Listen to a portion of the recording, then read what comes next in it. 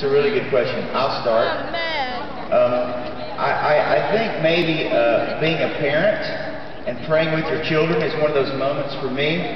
Uh, I, I love I love uh, teaching my kids. Last night before I left to go out on the road, I, I gathered my wife and my two daughters. I have a son who's in graduate school, but I have uh, two daughters at home with my wife, and we gathered in our bedroom and we had a time of Bible reading and devotion, and we prayed together before I left to go out on the road. We try to do that as much as we can when I'm at home. And I think because the Bible says when you train up a child in the way it should go, that when they're old they won't depart from it. So for me, investing in my children and in the next generation, my wife and I teach a senior high Bible study we have for about 10 years, and I get a real uh, charge. I feel like God is smiling when we're forgetting about ourselves and investing in the next generation of, of Christ followers. You got something for this?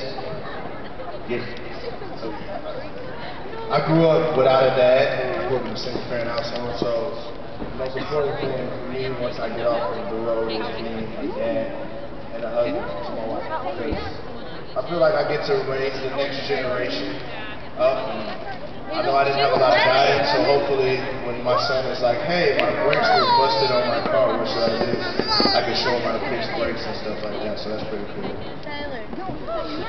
Man, I gotta agree. That's that's an amazing question, by the way, dude. Um, I think I have to echo that by saying a father and a husband because there just really is no more important job for us in that, in that situation.